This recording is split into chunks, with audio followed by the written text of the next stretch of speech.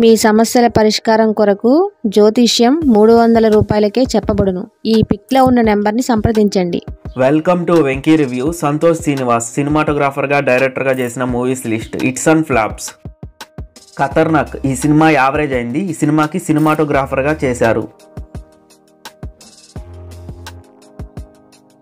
టక్కరి. ఈ cinema flop అయింది. ఈ సినిమాకి సినిమాటోగ్రాఫర్గా చేశాడు.